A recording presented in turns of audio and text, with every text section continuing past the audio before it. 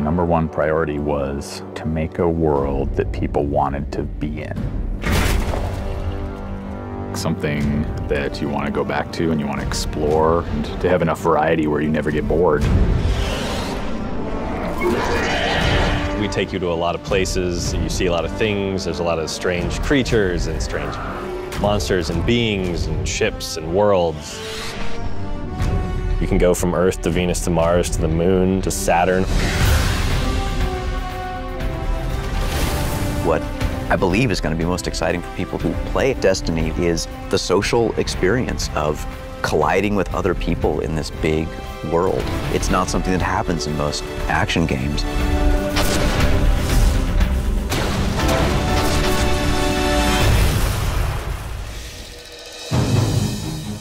Your choice of the character class and the character race will condition the way that character is going to evolve over time.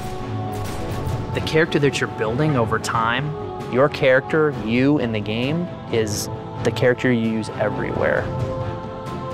You're going to see a guy wielding the Cudgel of Xanthor or the Fate of All Fools or whatever crazy names the writers come up with for, for these weapons and armor, and you're going to understand where they came from and what they went through to get there. On Destiny, we've gone to a three weapon system. So we have a primary weapon slot, and that's for the very versatile assault rifle style weapons. And then we have a special slot that's useful for like, in the moment, this gun is easily my best option. The totally new one is the heavy slot, and that is all about causing unrealistically large amounts of damage over a very small window of time.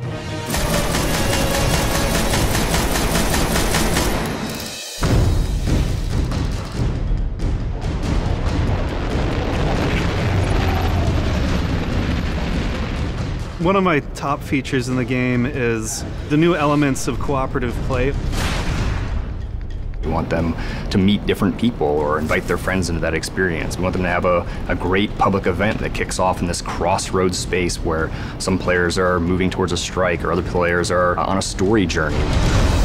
There's something really magical about running into another player, especially when you don't expect it. You hear shots ring out, and you look to the left, and there's your friend. There he is. Like there was no matchmaking. He just popped right in.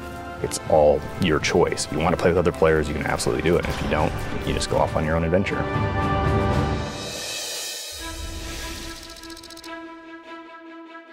This game has an activity for every mood.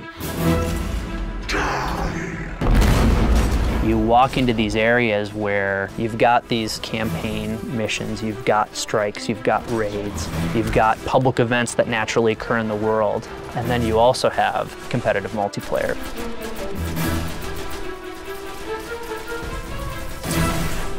Supers are interesting.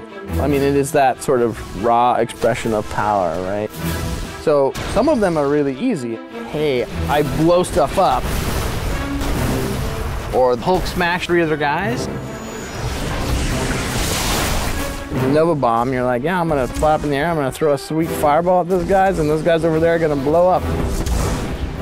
It's like, it looks like a dragon, it probably breathes fire. Getting loot is really damn exciting.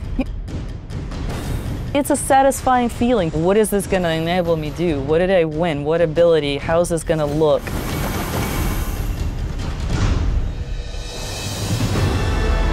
If we can simultaneously capture amazing action game, but still allow players to customize it for themselves, and they can pick the path that they want to take, if we can hit all those elements, we can bottle up that lightning a second time.